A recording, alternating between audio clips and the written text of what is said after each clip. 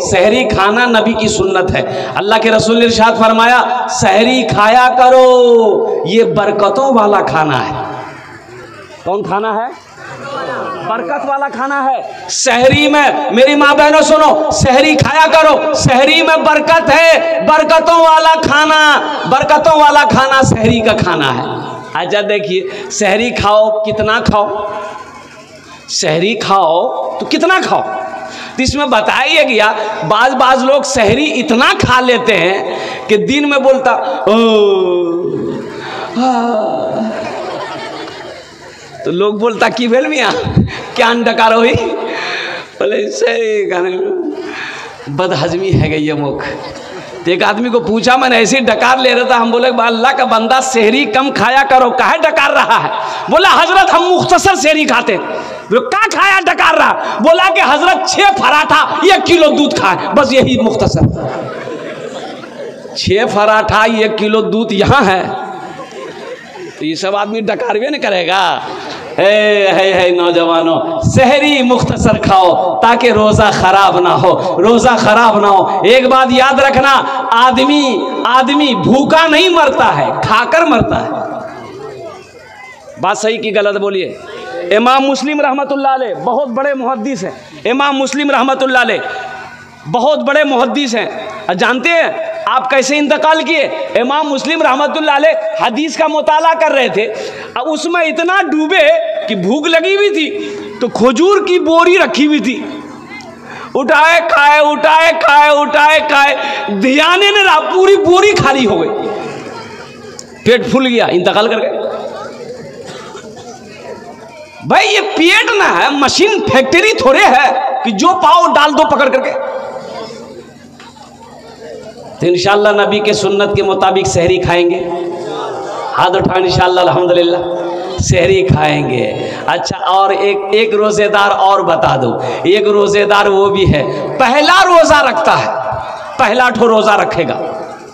अब बीच में अट्ठाईस रोज़ा छोड़ देगा। और लास्ट वाला तीसवां रोज़ा रखेगा। एक नौजवान को मैंने पकड़ा। हमने कहा कि काबे, पहला रोज़ा रखा, अट्ठाईस छोड़ दिया और तीसवां रखा है। कहा दो ही रोज़ा रखेगा का? बोला, हज़रत, आप समझे नहीं हम रोज़ा को घेर दिए का रोज़ा भागा जा रहा था? अरे, रोज़ा भागा जा रहा था। बोला, नहीं नहीं, रोज़ा में घेरे दिनू। रोज़ा और भगवानी पावे। पहला रोजा रखे, तीसवा रोजा रखे। ए नौजवानों, रोजा रखो। अल्लाह इसका इनाम तुम्हें अपने हाथों से देगा। अल्लाह इसका इनाम तुम्हें अपने हाथों से देगा। एक बात याद रखो, नमाज़ पढ़ोगे नमाज़ पढ़ोगे नमाज़ पढ़ोगे, कुरान पढ़ोगे, हज करोगे, जक़ात दोगे, सदका दोगे, कोई भी नेक अमल करोगे, अल्लाह फरिश्तों से इनाम दिलाएगा। लेकिन सुनो जब रोजा बंदा रखेगा, मेरा अल्लाह कहता है, मेरा बंदा, रोज़े का बदला मैं अपने हाथों से दूँगा रोज़े का बदला मैं अपने, और रोज़े का बदला होगा जन्नतुल फिरदौस। कितने लोग रोज़ा रखेंगे? वाह। अच्छा कितना रोज़ा रखेंगे? तीस। लेकिन इसी रमज़ान के महीने में एक रोज़ेदार वो है, एक रोज़ेदार वो है जो रोज़ा नहीं रखेगा, इफ्तारी भी नहीं छोड़ेगा। अच्छा रोज़ा नहीं रखेगा, इफ्तारी में सबसे पहले वही बैठेगा। अब बीवी को बोलेगा, अभी तक कचरी नहीं बनिया जल्दी नहीं हो मुख भूख लगेगा। एक नौजवान को मैंने पूछा कि, अबे, तू तो रोजा नहीं रखता, इफ्तारी काहे करता? बोला का हम हिंदू हो गए? हम इफ्तारी भी ना करें। बोले, नहीं तुम तो पक्का मुसलमान हो। ए अच्छा इफ्तारी भी करेगा, ऐसा करेगा, अल्लाह रहमता फरमाए, बाप बाप। ये कचरी है, ये फालूदा है, ये मिठाई है, ये हलवा है, ये पूरी है, ये सब्ज़ी है, ये ये ये चूड़ा है, ये मूढ़ी है, ये घुमनी है। दुनिया भर का ऐसा लग रहा है कि फैक्ट्री भरो। अबे सबर से खाओ भाई। अल्लाह के रसूल की अफ्तारी क्या थी? अल्लाह के रसूल जनाब मोहम्मद रसूलुल्लाह सल्लल्लाहु की इफ्तारी क्या थी? एक खजूर। एक खजूर। एक खोजूर इफ्तारी थी। नमाज़ के लिए खड़े हो जाते थे। यहाँ तो अब पता ही चला, इफ्तारी के चक्कर में जमात छूट गई। बोले वो नमाज़ पढ़ लूँगा दो पहले अफ्तारी खवा दे, नहीं तो खत्म है जावे। अच्छा एक आदमी देखा जाएँगे जन्नत में, इंशाल्लाह। अरे बोलो ना, जन्नत में जाएँगे। कितने लोग जाएँगे? बुढ़वा लोग जन्नत में नहीं जाएगा। हाँ बूढ़ा नहीं जावे। बूढ़ा बुढ़िया जन्नत नहीं जावे। हाँ बूढ़ा बुढ़िया जन्नत जावे, कब जावे? अल्लाह पहले जवान बनाएगा। अल्लाह पहले उसको जवान बनाएगा, जवान बनाकर अल्लाह जन्नत के अंदर में दाखिल फरमाएगा। इसलिए कि जन्नत में बुढ़ापा नहीं है, जन्नत में बुढ़ापा नहीं है, जन्नत में बीमारी नहीं है, जन्नत में ये ये धूप नहीं है, जन्नत में पेशाब नहीं है, जन्नत में पखाना नहीं लगेगा। और कुर्बान जाओ वहाँ खाना हजम कैसे होगा? आदमी खाएगा, खाना हजम कैसे होगा? भाई, यहाँ भूख लगती है, खाना खाते हैं, फैक्ट्री भरा तो फैक्ट्री खाली भी करते हैं। तो खाली करते हैं ना भाई। वहाँ ये झमेला नहीं होगा। वहाँ खाली उली का झमेला नहीं। एकदम नहीं, एकदम एकदम बंद। तो हजम कैसे होगा? तो बता ओलमा फरमाते हैं कि वहाँ पर एक खुशबूदार पसीना निकलेगा बदन से। आ, हा हा। ऐसा खुशबूदार पसीना होगा कि बस, अल्हम्दुलिल्लाह, एकदम खाना तुरंत जो खाए हजम हो जाए। अच्छा वहाँ खाने का सिस्टम वहाँ का अलग है। जन्नत का खाने का सिस्टम अलग है। यहाँ खाने का सिस्टम क्या है? खस्सिर गोश्त खानू तन। जी चाहा कि मी खस्सिर गोश्त खानू तन। तो खस्सी का गोश्त लेने के लिए आपको बारसोई जाना होगा। बारसोई? बोलूँ ना। मोटरसाइकिल स्टार्ट किए, फटफट फटफट फटफट बारसोई पहुँचे। कसाब से बोले कि एक किलो गोश्त दे दे। कसाब गोश्त काटा, फिर मोटरसाइकिल स्टार्ट किए, घर आए। घर आने के बाद फुतकी की माँ को दिए। ती गोश्त बना। फुतकी नाम है कि नहीं, बोलो। फुतकी ये तो फुतकी कुछ भी नहीं है। एक नाम है फुरगुन। फुरगुन। ये तो कोई नाम, अरे बाप। अच्छा एक नाम थे एक लड़की के बच्चे का नाम था बेचनी। हमने कहा कि या अल्लाह, ये बच्ची को चैने नहीं, हम देखते कभी यहाँ रखती कभी वहाँ रखती कभी वहाँ बेचनी का है नाम रखे इसलिए ये पूरी ज़िंदगी बेचन रहेगी नाम का साथ पर असर होता है ना। नाम का अल्लाह के रसूल ने इरशाद फरमाया, बच्चे का ये हक है माँ बाप के ऊपर में ये कि जब बच्चा पैदा हो, जब बच्चा पैदा हो तो सबसे पहले उसके दाहिने कान में आजान दो, बाएँ कान में तकबीर पुकारो। ये बच्चे का हक है माँ बाप के ऊपर में। फिर बच्चे का लगे हाथ अच्छा नाम रखो।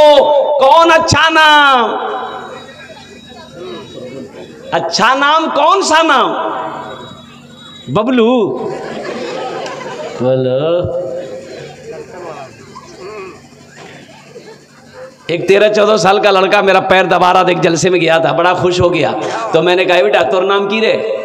बोला नी बोलू, मुगलाज लगो। हमने कहा कि, पहला आदमी तुम होगा, जो नाम बताने में लजा रहा है। नाम बोल ले रे, की नाम जो रे? बोले, मोर नाम छे फटकन। बोले, फटकन? ये कौन नाम छे रे? को रे बोले मोर दादो रखियाल की तो तोर दादोर नाम की ले बोले मोर दादोर नाम रहे लटकन बोले ठीक है ती फटकते रहो वो लटकते रहे अच्छा ये कोई नाम है कलकत्ते में एक निकाह पढ़ाने गए। लड़का का नाम लिख लिए। अब लड़की का नाम लिखना था तो हमने कहा, भाई, लड़की का नाम बोलो। तो एक लड़का बोला, लिखिए। हम बोलो बोलो। चुप हो गया। उसके बगल में एक नौजवान था, उसको बोला, भैया, ती ही बोले दे मोकला जब तो दूसरा नौजवान बोला कि, हज़रत लिखिए। हम बोले, बोलो। वो भी चुप हो गया। वो तीसरे को बोला, तुम भी बोलो, हमको भी शर्म आ रही। तो तीसरा बोला कि, हज़रत लिखिए। हम बोले, अल्लाह का बंदा बोलेगा भी कि खाली लिखिए लिखिए बोला। अबे, नाम बोलना लड़की का नाम क्या है? वो भी चुप हो गया। एक दादा मियाँ थे, बूढ़े मियाँ। वो बोले कि, हज़रत, काहे गुस्सा रहे हैं? लिखिए, हम बोल रहे हैं लड़की का नाम। हम बोले आप बोलिए। बोलिए, लिखिए, लड़की का नाम है घोड़ी बेगम। हम बोले, घोड़ी बेगम, ये घोड़ा घोड़ी के निकाह पढ़ाने आया है? सोचो, ये कोई नाम है? ये नाम है, इसलिए मेरी माँ बहनों, अपने बच्चों के अच्छे नाम रखो। अच्छा नाम कौन सा होगा जिसको मेरा अल्लाह अच्छा कहा है? जिसको मेरे रसूल ने अच्छा कहा है? वो अच्छा नाम है। हमारे कहने से अच्छा नहीं होगा। अच्छे नाम रखो। ये बच्चे का हक है आपके ऊपर में। नहीं तो अगर बच्चे का हक अदा नहीं किए तो कल कयामत के दिन ये बच्चा गरेबान पकड़ेगा अल्लाह की बारगाह में। किसी के हक को अगर किसी ने दुनिया में मारा है वो अल्लाह का मुजरिम है। इसलिए मेरे नौजवानों जब घर के अंदर में बच्चा पैदा होना बेटा हो चाहे बेटी हो आ, कुछ लोग तो बेटी को नहीं समझ रहे बीवी को बच्चा होने वाला है। एक नौजवान ने देखा कि बीवी को डिलीवरी है। तो हॉस्पिटल जा रहा था, बोला, हज़रत, बस दुआ कर दीजिए, दुआ कर दीजिए, हज़रत, कस के दुआ कर दीजिए, बस मुन्ना हो जाए। हमने कहा, अल्लाह का बंदा मुन्ना हो जाए, मुन्नी हो जाए, औलाद तो औलाद है। बोला, नहीं नहीं नहीं, मुन्ना हो जाए। समझो दुआ कर देंगे। और गया, हॉस्पिटल गया तो वहाँ लड़की पैदा हुई। अब इसको फ़ोन कर रहे तो उठा ही नहीं रहा। फ़ोन कर रहे उठा नहीं रहा। भाई भाई खबर खैरियत लेने के लिए फ़ोन कर रहे थे कि क्या हुआ, नहीं हुआ। ओ हो हो कम अज़ कम 20-25 फ़ोन किए, उसके बाद फ़ोन उठाया। मैंने कहा, अल्लाह का बंदा, क्या हुआ? बोला, हो गई। हमने कहा, हुआ रे? बोला, वही जो नहीं होना चाहिए था, वही हुई। बोले, बेटी हुई। हमने कहा वे बुधवा अरे खुल के बोलना मेरे घर में अल्लाह ने बरकत को पैदा किया है। सुबह अल्लाह बोला था माशा मेरे घर में अल्लाह ने बरकत को पैदा किया है। एक बात याद रखो, बेटा सिर्फ़ नेमत है। बेटा सिर्फ़, अरे बोलो भाई, बेटा सिर्फ़ नेमत है। बेटा सिर्फ़ अल्लाह की तरफ़ से नेमत है। और बेटी जानते हो, बेटी नेमत भी है, बेटी बरकत भी है, बेटी रहमत भी है। बेटी बरकत भी है बरकत बेटी नेमत भी है बे, बेटी रहमत भी है। और सुनो बेटे की शादी में जन्नत की बशारत नहीं है बेटी की शादी करा दो। अल्लाह तुम्हें जन्नत के अंदर में दाखिल कर देगा हजूर की हदीस है। हजूर की हदीस अल्लाह के नबी ने इरशाद फरमाया जिसकी दो बेटी हो जिसकी दो बेटी हो तीन बेटी हो चार बेटी हो वो बच्ची पैदा हुई घर के अंदर में माँ बाप ने अच्छा सलूक किया। उस बच्ची को अच्छी तरबियत दिया, अच्छे अखलाक सिखाया। फिर वो बच्ची बड़ी हो गई, कोई दीनदार लड़का देखकर उसका निकाह कर दे। तो अल्लाह के रसूल ने इरशाद फरमाया कि जन्नत में मेरे और उस बेटी के बाप के दरमियान में सिर्फ़ दो उंगलियों का फासला होगा। सुबह अल्लाह बोले तमाशा। तो बशारत है कि नहीं है? अरे, जन्नत की बशारत है कि नहीं है? बेटे की शादी में नहीं है, बेटे का निकाह में नहीं है। कुर्बान जाओ मौजा सामिन कराम। तो इनशाला बेटियों से मोहब्बत करेंगे इनशाला कितने लोग तैयार? हाथ उठाओ इनशाला अल्हम्दुलिल्लाह। बेटी पैदा हो जाए तो मिठाई बांटना है। खुशी में मिठाई बांटना है, लोगों को खाना खिलाना है कि मेरे घर में अल्लाह ने बरकत भी भेजा है, रहमत भी भेजा है, नेमत भी भेजा है। हाँ रही बात यह है कि कुछ लोग, लेकिन बेटे की पैदाइश में ज़्यादा समझ ही रहे होंगे। ज़्यादा खुश हो जाते हैं।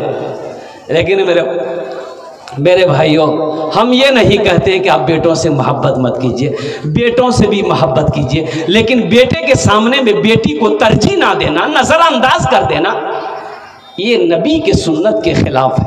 अल्लाह के महबूब इरशाद फरमाते हैं कि लोगों, बेटियों से मोहब्बत करो, मैं भी बेटी का बाप मैं भी बेटी का बाप हूँ।